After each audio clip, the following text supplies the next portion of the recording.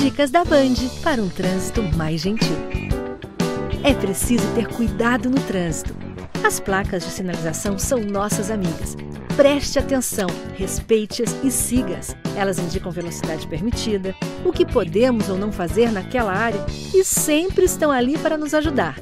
E lembre-se, gentileza gera gentileza também no trânsito.